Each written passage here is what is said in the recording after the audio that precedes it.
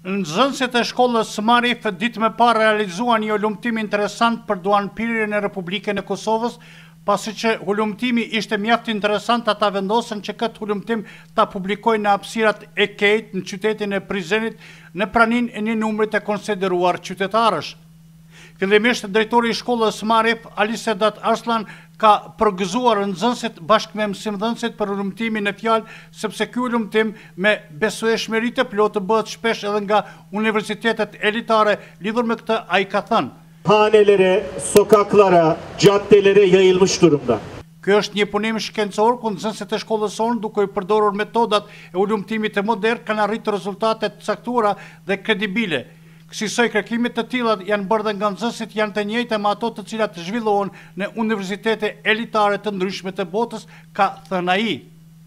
Përderisa mësimdhënësja e biologjisë në këtë institucion arsimor Donika Sylejmani tha se, përveç hulumtimit për duhanpirje në Kosovë është realizuar edhe një eksperiment me bretkoca për të parë efektet direkte të përdorimit të duhanit në organizmat e gjallë ku edhe janë parë edhe dëmet e duhanpirjes. Duke e pas parasysh që shkolla jonë mundohet kryesisht mësimin me bazu në anën teorike, na në njësinë e toksikomanisë që e kemi pas me nontën klasë, kemi vendosë me bo ni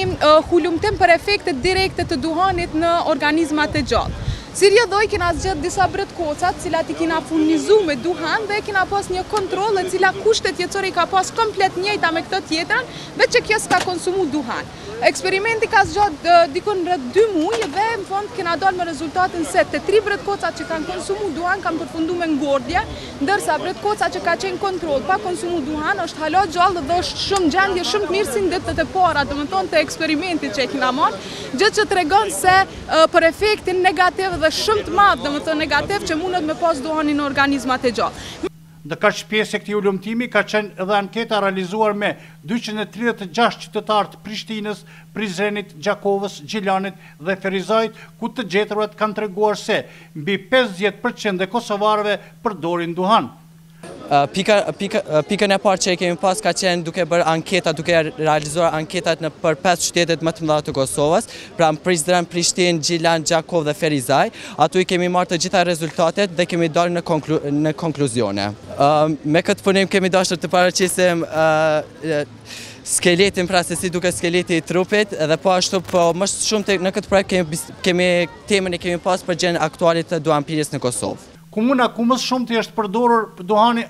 ishte ajo e Ferizajt, ndërsa cigaret që konsumohen më së shumti janë Winston dhe Marlboro, Kështu kanë njoftuar rezultatet e anketës ka potencuar nxënësi Shaqir Topko.